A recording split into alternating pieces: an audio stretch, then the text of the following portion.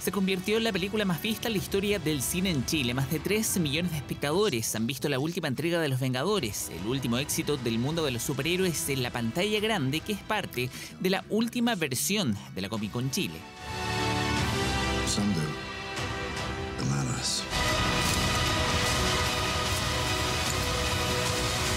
Si te gusta el anime, vas a encontrar algo aquí. Si te gustan las series, vas a encontrar algo aquí. Las películas y así, todo. Todo puedes encontrarlo en Comic Con.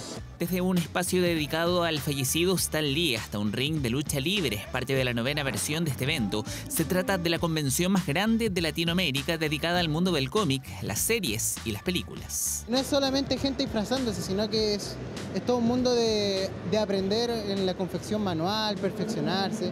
Yo antes a lo más sabía dibujar, ahora, ahora he aprendido a construir cosas. En medio del mundo del cosplay, Aldo se dedicó a la confección de artículos para el disfraz, uno de los tantos expositores de este evento que ven en esta oportunidad una vitrina para el negocio. Y esto es como, no sé si la cúspide, pero ya es un, buen, un gran paso, porque así más, más gente ve y más gente se entera de tu trabajo. ¿Cuál es tu, tu cosplay en esta ocasión? Slenderman. Uno de los personajes favoritos míos y principalmente porque también desde chico lo, lo veía. La oreja la hice yo, bueno, cosas simples en realidad esta vez. Es que tenía el disfraz completo y la capa se le perdió y justo como media hora antes de venir hicimos esta capa improvisada y vinimos. La idea era ser parte de este encuentro que originalmente comenzó en 1970 en San Diego, uno que en Chile espera reunir en tres días a más de 60.000 personas, una versión que coincidentemente se da en el aniversario número 80 de Batman. Tenemos invitados internacionales, tanto ilustradores como eh, actores, como Noah Schnapp, eh, Will de Stranger Things. Tenemos a Mario Castañeda, que es eh, la voz de Goku en español. Happy 4th of July!